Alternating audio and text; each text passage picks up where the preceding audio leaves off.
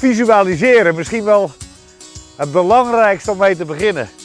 Ik visualiseer me dan als ik die kikkers zie, dat je die samen met je kinderen kan vangen. En daarna weer vrijlaten. Spelen. Spelen op je eigen erf. Spelen in het buitenleven. Countryside. Daar ben ik er verliefd op. U gaat vandaag een object zien waar u verplicht bent, als u komt, hier te gaan staan. En daar naartoe te kijken. Dat is zo mooi.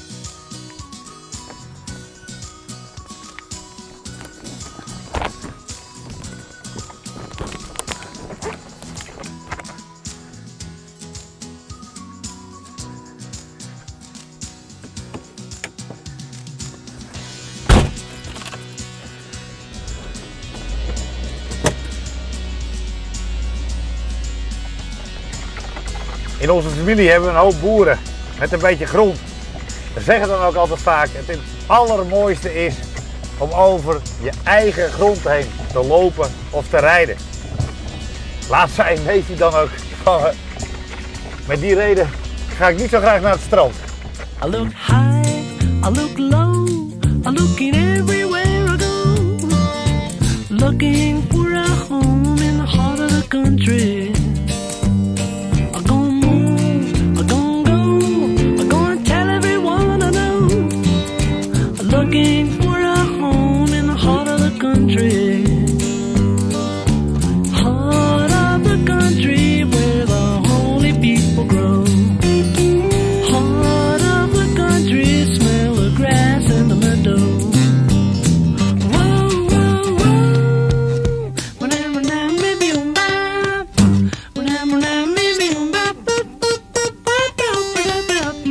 Eigen stukje op deze aarde.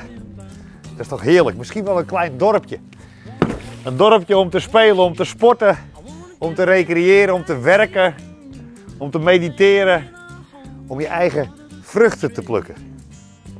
Tuurlijk, je vruchten of je groenten van eigen terrein. Geheel zelfvoorzienend, dat lukt makkelijk op 4 hectare grond. Beemstergrond, dat is van die beste grond, zou mijn vader zeggen. Werelderfgoed, dat is het hier ook. En daarvoor een Natura 2000 gebied. Het ligt overigens tussen de stelling van Amsterdam. Ook een mooi verhaal. Ook dicht bij Amsterdam. Ruim 1500 kuub hoofdgebouw. Origineel een 1890 huis, maar later goed jaarsende eraan gebouwd. De huidige eigenaar had bouwlust. Het is af, klaar, vol van kwaliteit en ruimte om te recreëren, te werken, te leven, te genieten. Te genieten met elkaar op je eigen dorpje aan de rand van de Beemster. Is altijd plek om je even terug te trekken. Verbonden, maar samen. Hier is nu het kantoor. Boven twee slaapkamers, via die trap toegankelijk met een royale badkamer. En hier dat originele voorhuis. En ik weet dat het hier s'avonds prachtig is, de ondergaande zon. En dan hier weer terug naar het achterhuis.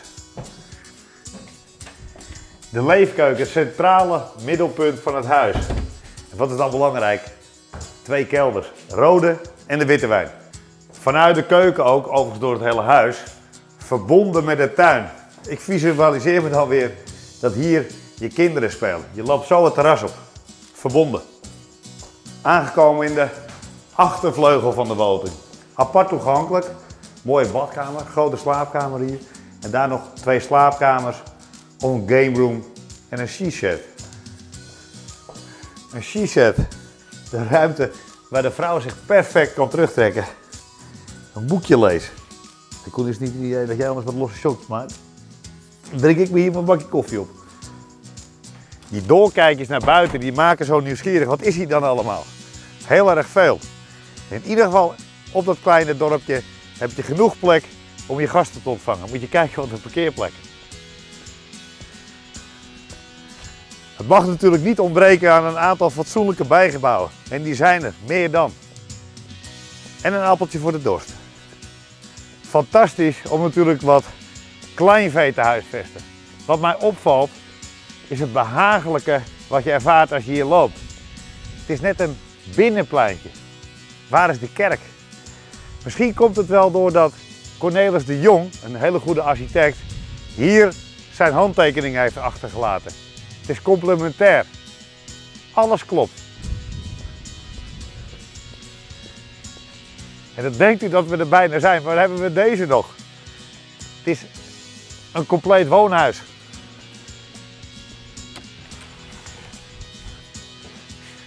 Wat een waanzinnig mooi bijgebouw. Overigens ook perfect als praktijkruimte. Moet je boven eens kijken. Je zou er bijna een paar hobby's bij moeten gaan bedenken. Ruim 200 vierkante meter vloeroppervlak, ook weer kwaliteit. Ik ben hier nu de hele middag, los van het prachtige weer, wat mij helemaal opviel. Geen auto gezien. Dat is toch bizar? Misschien een trekker. Ik heb mezelf beloofd, als ik de overkant haal, dan ga ik zo nog even op de fiets naar de Rijp. Dat is hier namelijk 10 minuten vandaan. Dat hele mooie plekje.